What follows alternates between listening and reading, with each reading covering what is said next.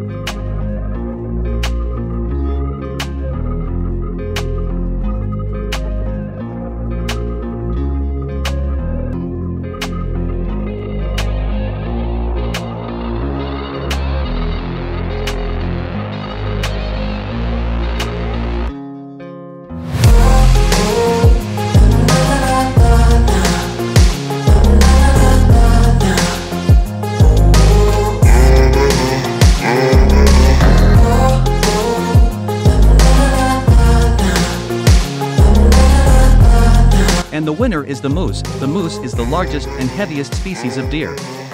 The calls of the female moose during mating season can be heard 1.92 miles away. The tongue, gums and lips of the moose are very tough to allow them to pick through and chew very woody material. Moose have no upper front teeth, but very sharp lower front teeth. During the mating season male moose may become so aggressive that they will attack indiscriminately, they have been known to attack humans, wolves, deer and bears. Moose attacks are the most frequent kind of animal attack in the Americas. Thanks for watching.